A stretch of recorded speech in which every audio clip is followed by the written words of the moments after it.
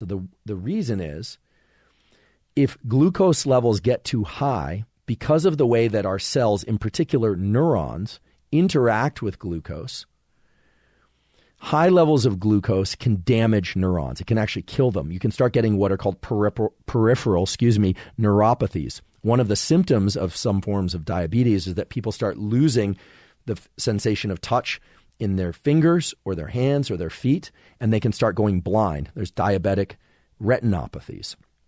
So it's very important that insulin manage your glucose levels.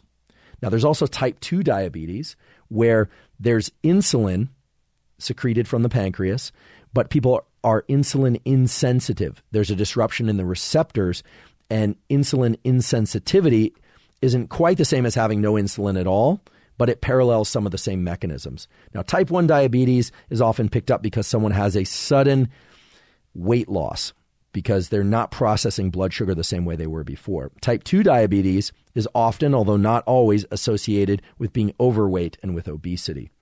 Both of them are, are challenging conditions. Type 2 diabetes almost always can be managed by managing one's weight.